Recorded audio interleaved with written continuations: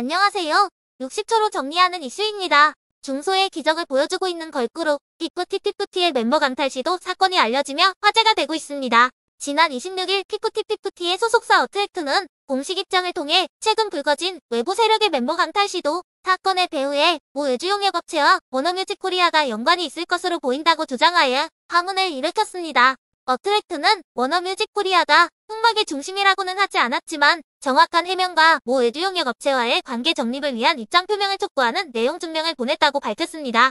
어트랙트는 현재 어느 정도의 증거가 확보되어 변호사를 통해 고소 준비를 하고 있다고 전했습니다. 어트랙트는 또 작고 힘없는 기획사가 여러 가지 역경을 극복하여 K-팝의 새로운 역사를 써내고 있는 와중에 외부 불순한 세력들의 불법적인 행위가 포착되어 유감이라며 해당 사건을 단호하게 대응할 것이라 강조하였습니다. 한편 이번 사건은 어트랙트로부터 특정된 모 외주용역 업체가 피프티피프티 멤버에게 접근하여 어트랙트와의 전속 계약을 위반하도록 유인하여 촉발된 사건입니다. 이상으로 중소의 기적 피프티피프티의 멤버 강탈 시도 사건 관련 소식 전해드렸습니다. 더 자세한 내용은 고정 댓글 링크를 통해 보실 수 있습니다.